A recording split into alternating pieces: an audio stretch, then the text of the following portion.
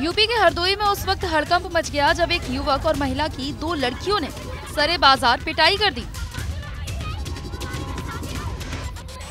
Video में पिटती हुई दिखाई दे रही दो महिलाएँ कोई और नहीं, बल्कि युवक की दोनों बहनें हैं। और जिस महिला को ये पीट रही हैं, वो इन दोनों के भाई की गर्लफ्रेंड। सरे बाज़ार प्रेमी जोड़े की इस पिटाई का वीडियो और उसकी कहानी शहर भर में चर्चा का विषय बनी हुई है। सोशल मीडिया पर भी दोनों के चर्चे और पिटाई का वीडियो वायरल है।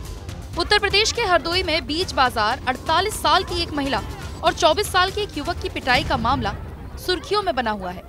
बताया जा रहा है कि 24 साल के युवक को 48 साल की महिला से प्रेम हो गया था, लेकिन युवक के घर वालों को ये संबंध पसंद नहीं था। पहले तो घर वालों ने उसे मना कर दिया, काफ़ी समझाया, लेकिन वो नहीं माना। इसके बाद घर वाले उसकी हरकतों से खासा परेशान हो गए और फिर परिजनों ने उसे सबक सिखाने की ठानी। और एक दिन संयोग वर्ष दोनों बाज़ार में एक दूसरे के हाथों में हाथ डाले बाज़ार में टहल रहे थे। इसी दौरान युवक की दोनों बहनों ने आकर पहले तो महिला की पिटाई की और उसके बाद अपने भाई को भी खूब पीटा।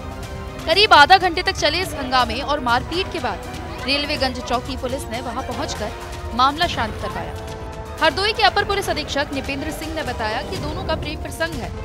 युवक के परिजनों को ये संबंध नामंजूर है, इसलिए सारे बाज़ार ये मारपीट हुई है। मारपीट और हंगामे के बाद पुलिस विशेष रूप से चौकस हो गई। है पुलिस ने सभी को थाने ले जाकर मामला दर्ज कर लिया है। पुलिस का कहना है कि सभी पक्षों से विस्तार से पूछताछ करने के बाद घटना के सभी पहलुओं को देखते हुए आगे की कानूनी कार्रवाई की जाएगी। एक वीडियो संज्ञान में आया है, जो जानकारी के तो पाया गया कि थाना कोतवाली का रेलवेगंज चौकी पड़ती है, जहाँ पर ये दो महिलाएँ आपस में वाद विवाद में मारपीट करते हुए दिखाई दे रही हैं। उपरोक्त मामले में थाना कोतवाली को निर्देशित किया गया है। इसमें जाँच कर विधिक कार्रवाई करेंगे। फ़िलहाल 24 साल के युवक की 48 साल की महिला गर्लफ्रेंड की पिटाई की चर्चा ज़िले भर में है। और पिटाई का वीडियो सोशल मीडिया पर जमकर वायरल हो रहा है और सोशल मीडिया यूज़र्स भी जमकर तंज कस रहे हैं।